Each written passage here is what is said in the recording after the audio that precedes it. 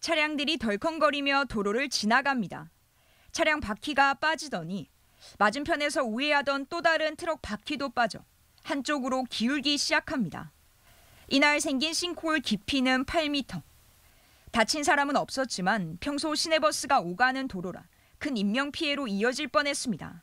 신적으로 댕기다가 빠지면 뭐 사실 저 큰 차가 저 정도 같으면 만약- 만약에 소형차나 승용차 같으면 사람이 사람이 생명도 왔다 가지 음, 좀 지난달 20일에도 같은 도로에서 3.5m 깊이 땅 꺼짐이 있었고 바로 이튿날 또 싱크홀에 차량 한 대가 빠지기도 했습니다. 올해 들어 사상 하단선 공사 구간에서 발생한 땅 꺼짐 현상만 8번째로 지난해와 합치면 11번에 달합니다. 부산시는 이번 사고 연약 집안의 폭우, 지하철 공사까지 여러 요인이 한 번에 작용했다는 진단을 내놨습니다. 그러면서 언제든지 또 사고가 일어날 가능성을 인정했습니다. 이 주변 집안이 워낙 약하고 또 그 대형 공사가 이루어지고 있기 때문에 언제든지 예, 발생할 개연성이 있습니다. 그래서 문제는 피해를 막을 방법이 현재로선 명확히 없다는 점입니다. 부산시가 해법으로 언급한 건 GPR, 즉 지표 투과 레이더로 전자 기파를 땅 밑에 쏴 집안 침하 가능성을 미리 알아챈다는 것. 하지만 지난달 땅 꺼짐 이후 부산시는 이미 이 일대에 GPR을 통한 전수조사를 실시했지만 이번 사고를 막지 못했습니다.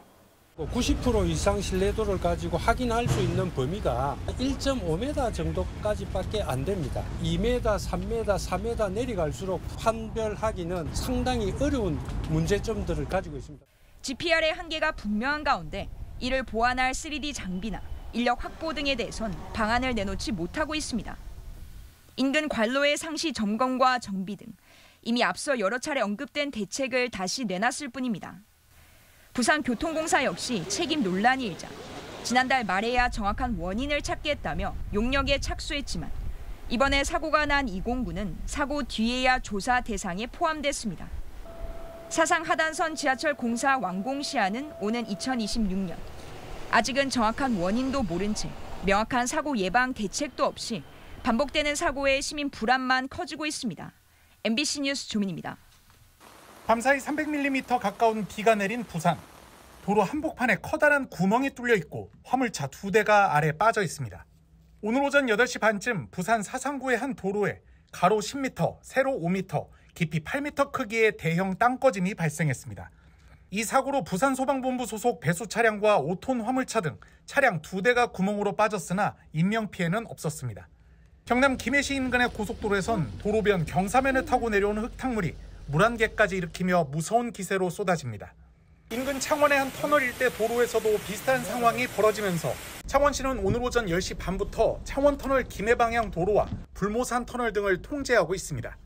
충남 서산의 한 도로에선 차량들이 바퀴까지 차오른 빗물 탓에 물보라를 일으키며 움직이는가 하면 최근 공사를 마쳤다는 대전 도문산 인근의 뚝은 이번 비에 속절없이 무너져 내렸습니다.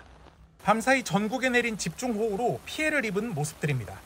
어제부터 오늘 오전 10시까지 경남 창원에 341mm, 부산 북구 269mm, 충남 서산 264mm, 전북 익산에 224mm가량의 비가 내리면서 전국적으로 도로 침수와 산사태 등의 피해가 속출했습니다. 특히 경남 창원과 충남 서산 등지에는 시간당 100mm 안팎의 극한 호우가 쏟아져 피해가 커졌고 제주는 지난 19일부터 사흘간 누적 강수량이 667mm에 달하기도 했습니다.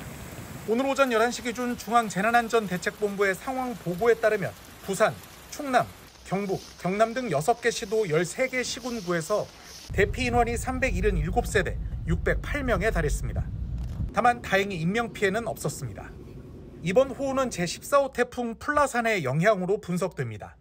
열대 저압부로 약화한 플라산이 우리나라로 방향을 튼 뒤 제주와 남해안 사이를 지나면서 한반도에 더 많은 고온다습한 공기를 공급했고 이 공기가 북쪽에서 내려오는 찬 공기와 강하게 충돌하면서 호우로 이어진 것으로 보입니다.